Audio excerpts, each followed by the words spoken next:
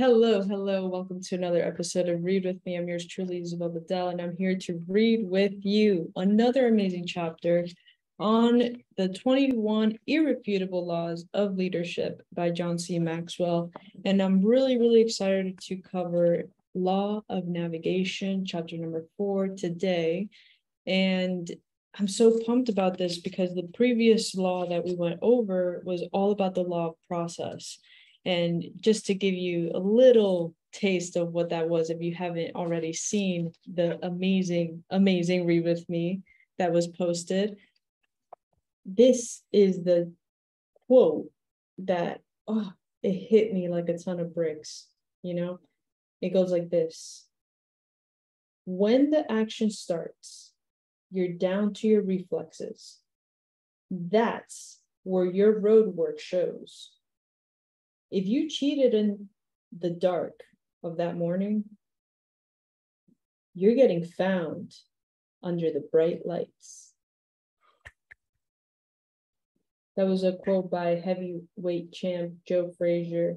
And it's all about making the strides daily, putting in that work daily, putting in that learned daily, and making sure that you're infusing yourself with the right tools, with the right mindset, with the right leadership, so you can grow and prosper. It's not about being microwave society or being, you know, instant gratification, being part of that. It's all about how long can you sustain yourself? How long are you able to sustain your leadership, your influence, that process? Hmm. How long? Well, the law of navigation, it starts off with anyone can steer the ship, but it takes a leader to chart the course. And I'm freaking stoked about this because I'm all about like, you know, planning. Um, I really enjoy being able to map out and strategize and, you know, create this big vision and then ch- put it into many chunks and then have milestones to achieve those things. So let's see how this works out have a good, good feeling about the law of navigation. Let's get into it, shall we? In 1911, two groups of explorers set off on an incredible mission. And though they used different strategies and routes, the leaders of the teams had the same goal to be the first in history to reach the South Pole. Their stories are life and death illustrations of the law of navigation. One group was led by Norwegian explorer Roald Amundsen, Ironically, Amundsen had not originally intended to go to Antarctica. His desire was to be the first man to reach the North Pole. But when he discovered that Robert Peary had beaten him there, Amundsen changed his goal and headed toward the other end of the earth, north or south.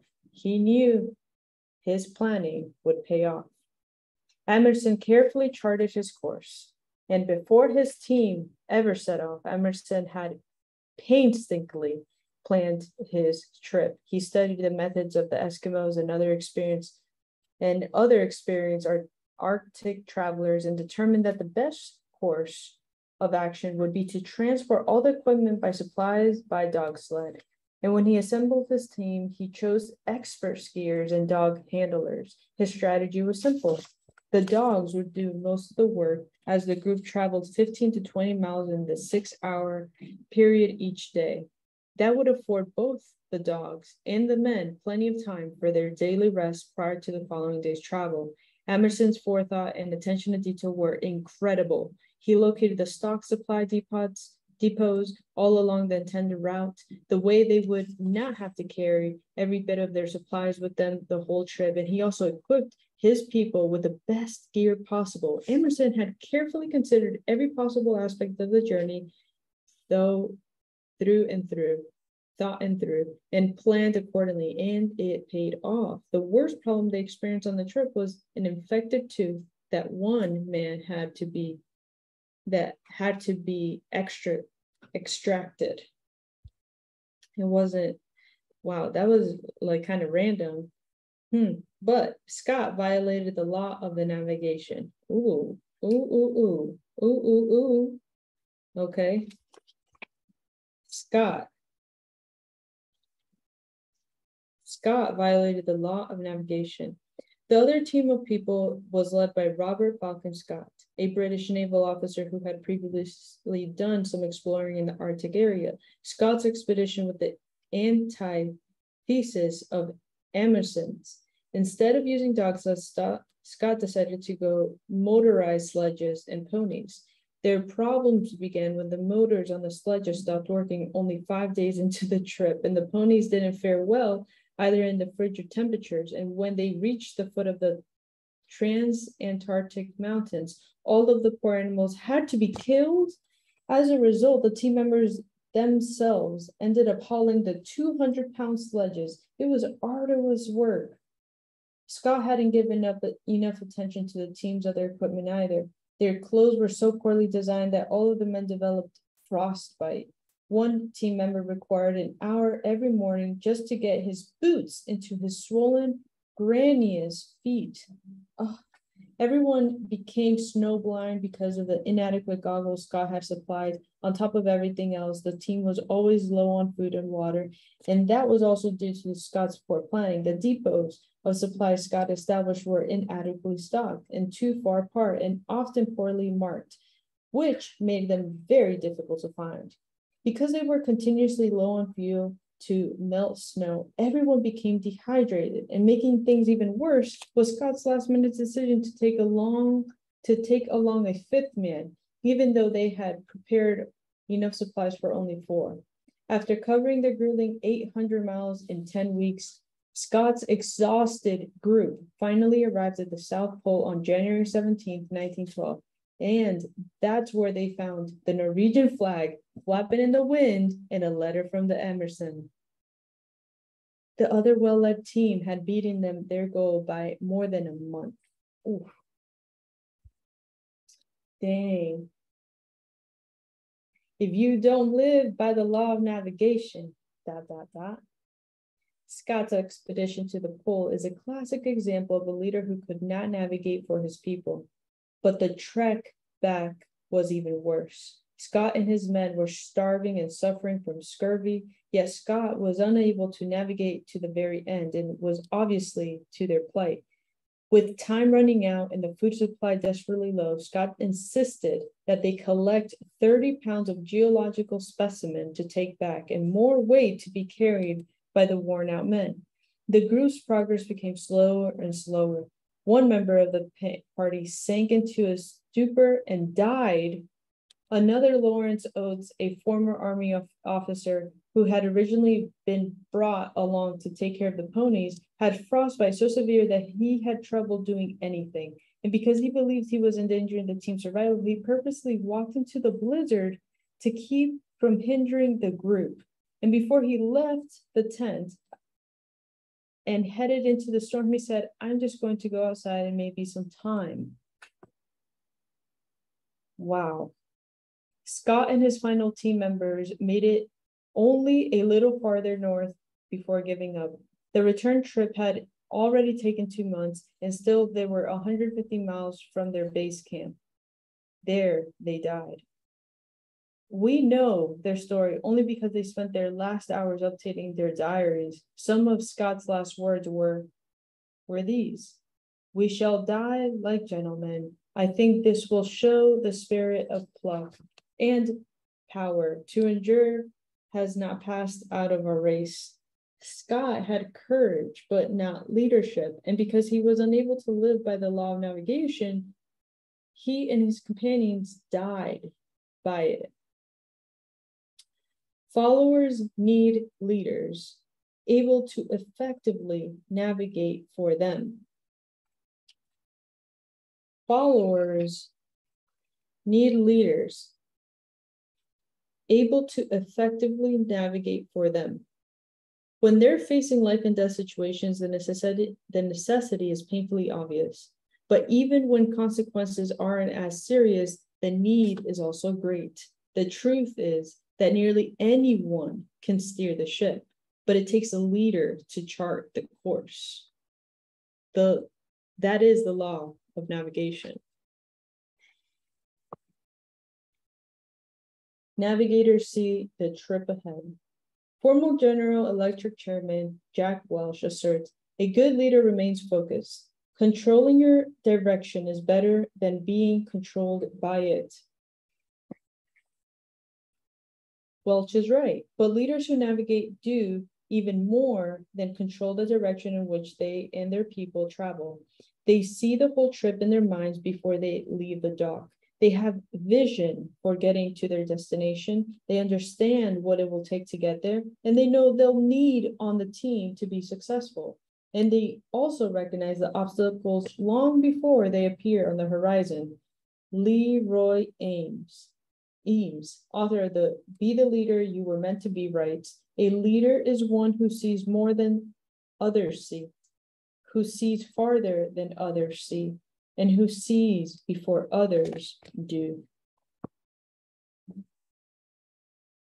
The larger the organization, the more clearly the leader has to be able to see ahead. That's true because sheer size makes mid mid-course corrections more difficult. And if there are errors in navigation, many more people are affected than when a leader is traveling alone or with only a few people. The disaster shows in James Cameron's 1997 film Titanic, which was a good example of that kind of problem. The crew could not see far enough ahead to avoid the iceberg altogether, and they could not maneuver enough to change the course once the object was in view because the size of the ship. The result was that more than 1,000 people lost their lives. This is where the leader goes. First rate navigators always have in mind that other people are depending on them and their ability to chart a good course. I read an observation by James Autry in Life and Work, a manager search for meaning that illustrates this idea. He writes that occasionally you hear about the crash of four military planes flying together in a formation. The reason for the loss of all four is this. When jet fighters fly in groups of four, one pilot, the leader, designates where the team will fly. The other three planes fly in the leader's wing, watching him and following him wherever he goes. Whatever moves he makes, the rest of his team will make along with him. And that's true, whether he soars in the clouds or smashes into a mountaintop. Before good leaders take their people on a good journey, they go through a process in order to give the trip the best chance of success. Navigators draw on past experience.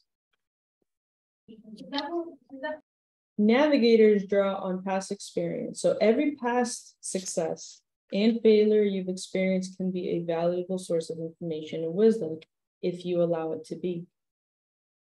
Success teaches you what you're capable of doing and gives you confidence. However, your failures often teach greater lessons. They reveal wrong assumptions, character flaws, errors in judgment, and poor working methods. So, ironically, Many people hate their failures so much that they quickly cover them up instead of analyzing them and learning from them. And as I explained in my book, Failing Forward, if you fail to learn from your mistakes, you're going to fail again and again and again. Hmm.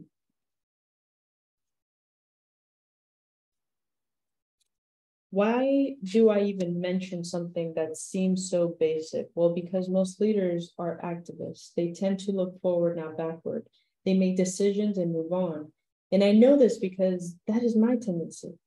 But for leaders to become good navigators, they need to take time to reflect and learn from their experiences. That's why I have developed the discipline of reflective thinking. I write about it in detail in my book, Thinking for the Change. But allow me to give you some advantages of reflective thinking here. Reflective thinking. It gives you true perspective. It gives you emotional integrity to your thought life. It increases your confidence in decision making. It clarifies the big picture and it takes a good experience and it makes it a valuable experience. Each benefit gives you a leader Each benefit gives a leader a great advantage when planning next steps for a team or organization. Each of the benefits that I just listed above perspective, emotional integrity, confidence, decision making, clarifying a big picture, good experience, and how it makes it a valuable experience. Beautiful. I love that. Navigators examine the conditions before making commitments. Drawing on experience means looking inward. Examining conditions means looking outward. No good leader plans a course of action without paying close attention to current conditions. That would be like setting sail against the tide or plotting a course into a hurricane. Good navigators count the costs before making commitments for themselves and others. They examine not only measurable factors such as finances, resources, and talent, but also intangibles such as timing, morale, momentum, culture, and so on. And I'll discuss this more in the laws of intuition and timing. Navigators listen to what others have to say. No matter how much you learn from the past, it will never tell you all that you need to know for the present. Ooh, that's a good line. No matter how much you learn from the past, it will never tell you what you need to know for the present. No matter how good a leader you are, you yourself will not have all the answers. That's why it's top notch navigators are the ones that gather information from many sources. So, for example, Roald Amundsen expedition to the South Pole, he had learned from a group of Native Americans in Canada about warm clothing and Arctic survival techniques. Those skills and practices meant the difference between failure and success for this team in Antarctica. Beautiful. Navigating leaders get ideas from many sources. They listen to members of the their leadership team. They talk to people in their organization to find out what's happening on the grassroots level. And they spend time with leaders from outside of the organization who can mentor them. They always think in terms of relying on a team, not just themselves. Navigators make sure their conclusions represent both faith and fact. Being able to navigate for others requires a leader to possess a positive attitude. You've got to have faith that you can take your people all the way. If you can't confidently make the trip in your mind, you're not going to be able to take it to real life. On the other hand, you also have to be able to see the facts realistically. You can't minimize obstacles or rationalize your challenges and still lead effectively. You, if you don't go in with your eyes wide open, you're going to get blindsided. And as Bill Easum, president of Asom Bandy and Associates observes, realistic leaders are objective enough to minimize illusions. They understand that self-deception can cost them their vision. Hmm. Jim Collins confirmed this balance between the faith between faith and fact in his 2001 book, Good to Great. He calls it the Stockdale paradox. He writes, You must retain faith, and you will prevail in the end. And you must also confront the most brutal facts of your current reality, balancing optimism and realism, intuition and planning, faith and fact can be very difficult. But that's what it takes to be effective as a navigating leader. I remember the first time I really understood the importance of the law of navigation. This is John's lesson in navigation, by the way. He was 28 years old and he was leading the second church in his pastoral career. He mentions before my arrival there in 1972, the church had experienced a decade long plateau in its growth and by 1975, our attendance had gone from 400 to more than 1,000. I knew we could keep growing and helping more people, but only if we built a new auditorium. The good news was that I had already had some experience leading a construction project because I had taken my first church through that process. The bad news was that the first one was really small in comparison to the second one. This was going to be a multi million dollar project, more than 20 times larger than the first one. But even that was not the greatest obstacle. Right before I came on board as a leader of the church, there had been a huge battle over another building proposal, and that debate had been vocal. Divisive, and bitter. And for that reason, I knew that I would experience genuine opposition to my leadership for the first time. There were rough waters ahead, and if I, as the leader, didn't navigate us well, I could sink the ship. Charting the course with a navigation strategy. I should probably confess that at this point that I was not a strong navigator. I don't take joy in getting into details, and I tend to go with my gut instinct, and sometimes a little too quickly for my own good. In the last 15 to 20 years, I've often stuffed my weakness and hired good navigating leaders to help my organizations. That's that's everything right there. I've staffed my weakness and hired good navigating leaders to help my organizations. So, for example, for many years when I was a church leader, Dan Reiland was on my staff of executive pastors. He's an excellent navigator, currently at Equip, the nonprofit organization I founded in 1996. John Hull works as its president, and he is a fantastic navigating leader. However, back in 1975, I had taken the responsibility for the navigation process myself. And to help me do that, I developed a strategy that I have used repeatedly in my leadership. I wrote it as an arrow stick acrostic. I wrote it as an acrostic so that I could always, always be able to remember it. And it's plan ahead. Okay, plan ahead. P stands for predetermine a course of action. L stands for lay out your goals. A, adjust your priorities. N, notify key personnel. A, allow time for acceptance. That's plan, okay? And then A, allow time for acceptance. H, head into action. E, expect problems. A, always point to the success. And D, daily review your plan, plan ahead. That became my blueprint as I became prepared to navigate this change for my organization. I had a strong sense of what our course of action needed to be. If we were going to keep growing, we needed to build a new auditorium. I had looked at every possible alternative and I knew that there was only a viable solution. My goal was to design and build the facility, pay for it in 10 years, and unify all the people in the process. No small feat. Any plan I introduced would have to be voted on in a congregational meeting. So I scheduled one a couple months ahead of time so I can get everything ready. And the next thing that I did was direct our board of members and a group of key financial leaders to conduct a 20 year analysis of our growth and financial patterns. It covered the previous 10 years and projections for the next 10 years. And based on that, we determined that the requirements of the facility. When we then formulated a 10 year budget that carefully explained how we could handle financing. I also asked that all of the information we were gathering be put into a 20 page report to be given to the members of the congregation.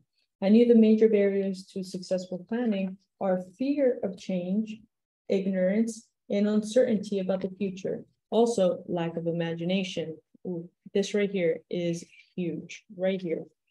I knew that major barriers of successful planning.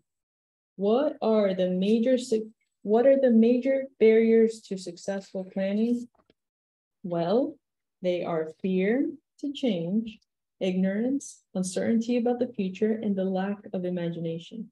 Hmm, powerful. I was going to do everything that I could to prevent those factors from hindering us. So the next step was to notify all of the key leaders. I started with the ones who had the most influence, meeting with them individually and sometimes in small groups. Over the course of several weeks, I met with a, about 100 leaders. I cast the vision for what we needed to do and fielded their questions. And anytime I could sense that a person was hesitant about the project, I planned to meet individually. I planned to meet individually with him again. Then I allowed time for those key leaders to influence the rest of the people and help them accept the coming changes. When the time arrived for the congregational meeting, we were ready to head into action. I took two hours to present the project to the people. I handed out my 20 page report with the floor plans, financial analysis, and budgets. I tried to answer every question the people would have before they had even a chance to ask it. I also asked some of the most influential people in the congregation to speak. I had expected opposition, but when I opened the door for questions, I was shocked. There were only two questions. One person wanted to know about the placement of the building's water fountains, and the other asked about the number of restrooms. That was when I knew we had navigated the tricky waters successfully. And when it was time for the motion asking everyone to vote, the church's most influential layperson made it. And I had already asked the leader who had previously opposed the building project to be the one to second that motion. When the final count was tallied, 98% of the people had voted in favor. Wow. Once we navigated through this tricky part of the process, the rest of the project was pretty straightforward. I continually kept the vision in front of the people by giving them good news reports. I made sure we celebrated successes and I periodically reviewed our plans and their results to make sure we were on track. The course had been charted. All we had to do was steer the ship. That was a beautiful, wonderful learning experience for me. And above everything else, I found out that the secret to the law of navigation is preparation. When you prepare well, you convey confidence and trust, trust to people. You convey confidence and trust to people. Lack of preparation has the opposite effect. In the end, it's not the size of the project that determines its acceptance, support, or success. It's the size of the leader. That's why I say that anyone can steer the ship, but it takes a leader to chart the course. Leaders who are good navigators are capable of taking their people just about anywhere. That line is freaking good. And I love this course of action review because I'm in the process of doing this myself. I'm now building a church. I'm not building a physical location, but we are structuring an amazing three year plan for our business. And if our goal for our other business, I believe, is to impact the lives of 1 million entrepreneurs, I mean, we've currently to date, we've worked with over a thousand coaches, which is amazing right? 1,000, over 1,000. But if our goal is to impact the lives of 1 million, which is 100x of that, how, do, how can we do that in the same amount of time that it took us to do 1,000? You know, how do we do that? So that's the that is the course that needs to be charted, that needs to be implemented, and that needs to be executed on. So wow, this chapter couldn't have come in a better time. Here is how applying the law of navigation can be used into your life. Three points again. Do you make it a regular practice to reflect on your positive and negative experience? And if not, you will miss the potential lessons they have to offer. Do one of the two things. Set aside a time to reflect every week. Examine your calendar or your journal to jog your memory. Build reflection time into your schedule immediately after major success or failure. In either case, write down what you learned during that discovery process. Navigating leaders do their homework. For some, project or major task that you are currently responsible for, draw on your past experience, hold intentional conversations with experts and team members to gather information, and examine current conditions that could impact the success of your endeavor. Only after taking these steps should you create your action plan. Which way do you naturally lean? Towards facts or faith? Rarely is a leader especially talented in both areas? I'm a faith person, I'm a highly visionary, and believe that anything is possible. And I often rely on my brother Larry to help me with realistic thinking. And yet, Good navigators must be able to do both. To successfully practice the law of navigation, you must know your own bent. If you're not sure, ask trusted friends and colleagues, then make sure you have someone with the opposite bent on your team so that you can work together. Johnny Pooh coming in hot. I love it. I love it. I love it. This was an amazing chapter once again. I love that he mentions that he's like a faith person. He's highly visionary and believes that anything is possible. I truly associate myself in that column heavily. Um, I'm grateful that I have Vanessa on my side because she is a beast when it comes to you know execution and details and making sure that everything actually goes according to plan and holds people accountable which is amazing. You know she's incredible. Make sure to check out her videos if you aren't. It's all about personal freedom and she is the master about personal freedom I'm so grateful for this, and I hope you got a lot of value out of it. I know there's so much more to come. And guess what? The next law that we're going to be talking about is the law of addition, adding value by serving others. So if you're in a position right now where you're looking to elevate your life, your leadership, your relationships, your business, your income, your impact, all of that, welcome to the solution.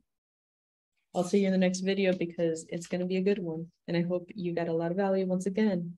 Make sure to hit subscribe, make sure to hit like, make sure to share with a friend, and make sure to live on purpose, ladies and gentlemen. You got one life. Make it a real one. Bye.